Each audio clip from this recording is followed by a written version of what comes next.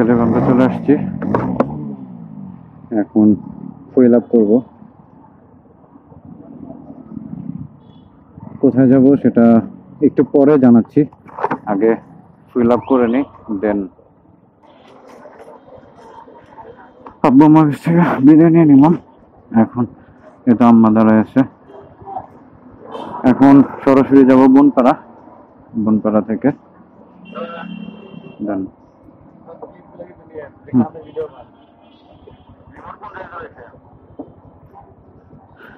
গেলাম। চলুন সামনের দিকে যাই। বনপাড়াতে গিয়ে কথা বলব।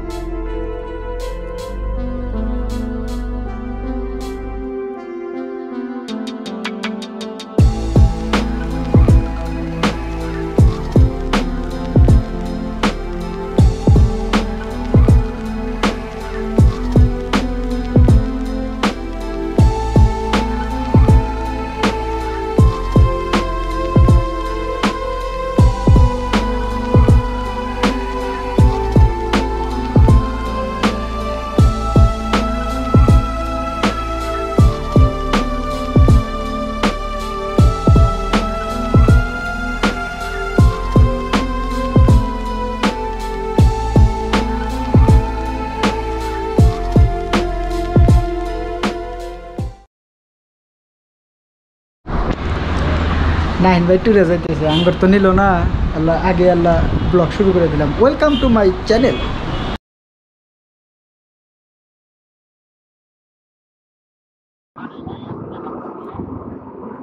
আলহামদুলিল্লাহ, আমরা বনপাড়া চৌরাস্তা মোড়ে পৌঁছে গেছি। এই মুহূর্তে আমি আছি বনপাড়ার মোড়ে। এখন কোথায় যাচ্ছি সেটা হয়তো টাইটেল দেখে বুঝতেই পারছেন। হ্যাঁ সুন্দরবনে বাঘ ধরার জন্য যাচ্ছি। মূলত বেশ কিছু বড় ভাই ব্রাদারদের সাথে যাচ্ছি। তারাও আসতেছে ঢাকা থেকে আর আমরা এই পাশ থেকে। আর আমাদের সাথে কিছুক্ষণ পরে অ্যাড হবে হচ্ছে জামান ভাই। আমরা এইখানে একটু দাঁড়াবো, একটু চা খাব এবং হচ্ছে একটু রেস্ট নিব, কারণ জামান ভাই আসুক। দেন আমরা আবার স্টার্ট করব। একটু সাইড করে দাঁড়াইতে হবে, চা খাইতে হবে।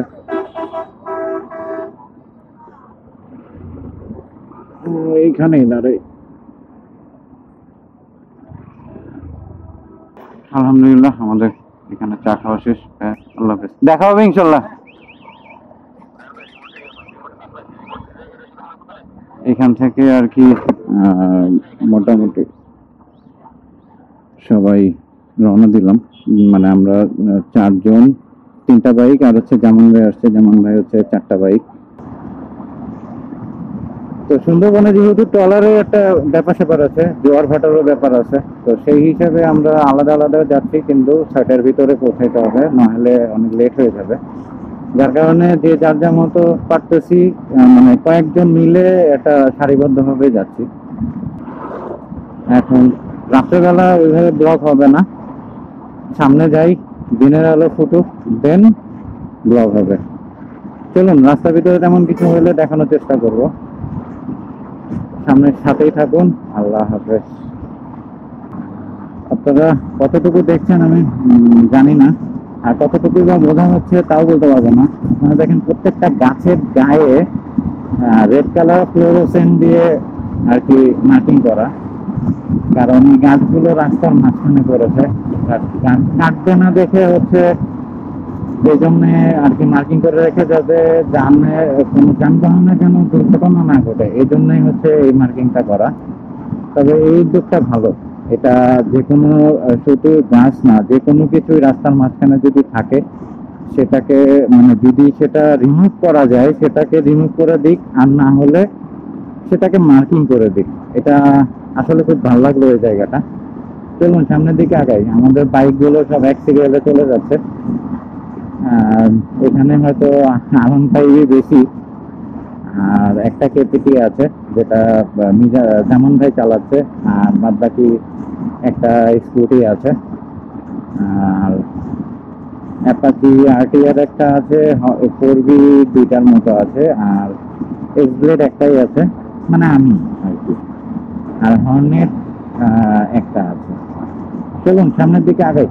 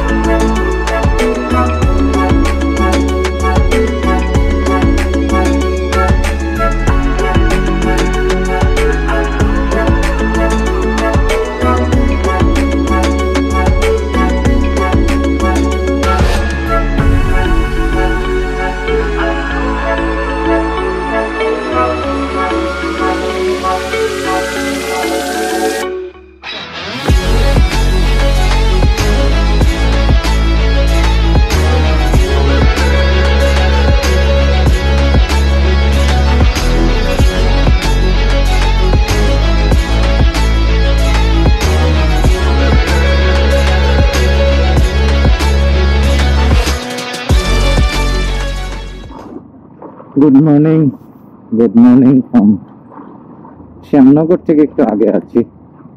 এক্সাক্ট লোকেশনটা বলতে পারব না। আমরা আদৌ জানি না আসলে সকালে টলারে উঠতে পারব কিনা। কারণ অনেক লেট হয়ে গেছে।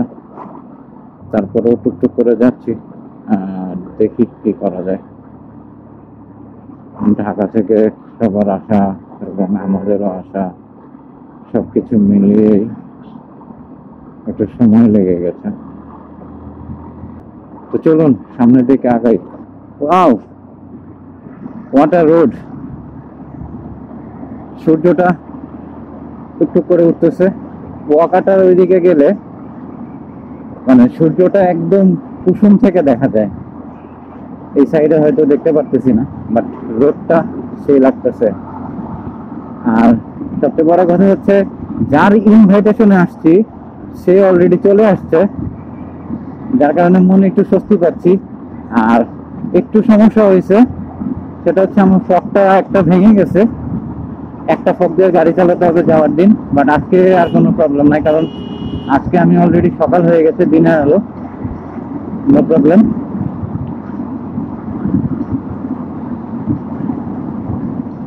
জোস লাগতেছে জোস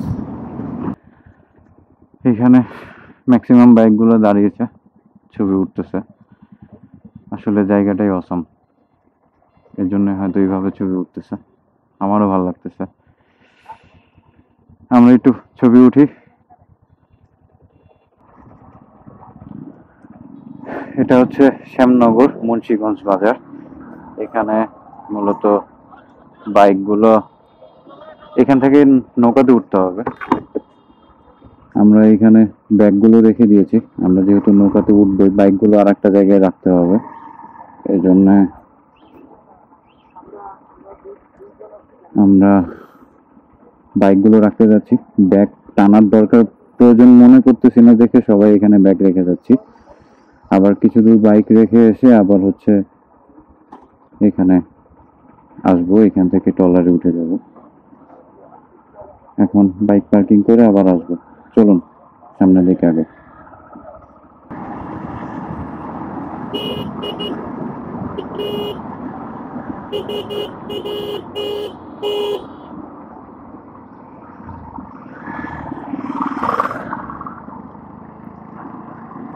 এগুলো সব দেখছেন? এগুলো সব মাছের ঘের সম্ভবত চিংড়ি মাছ চাষ করে এখানে। তো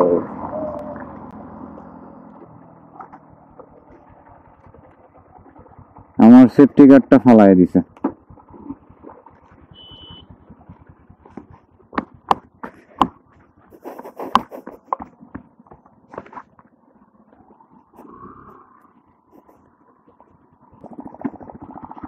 এটা একটা পেইন আর কি।